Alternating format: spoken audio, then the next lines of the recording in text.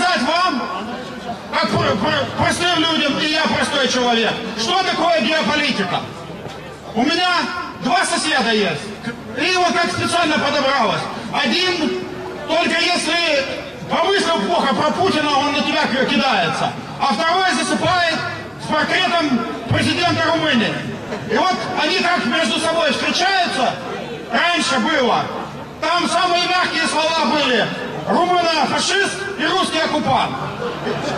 И вот два дня назад иду я и вижу мирно они беседуют. Я подхожу, ну как, ребята, что тут, оккупация, что у вас тут происходит? Они оба с фактурами за электроэнергию.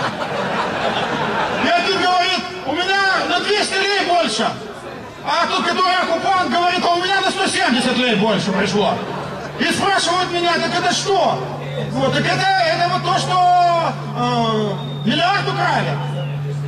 Они говорят, а как? А мы кому платим эти деньги? Я говорю, ну вот платим через две фирмы посредник. И нам говорят, что через две фирмы посредник дешевле, чем напрямую. Такая у нас экономика. Они говорят, а вот все подорожало в магазинах в два раза. А я говорю, а что вам скидки не дают за то, что вы за Путина или за Васеску? Не дают скидок. Идет, идем в аптеку, а они оба уже в возрасте.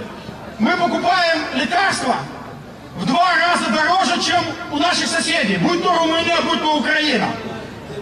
Один говорит, у него автономное отопление, а вот сейчас газ будет немножко дешевле. Может быть, все-таки мы не будем их так ругать? А я им говорю, два года назад этот парламент, вот, который там сидел, приняли так называемую поправку. И нам повысили тариф на газ. Фурдуй сейчас гуляет. Через два года,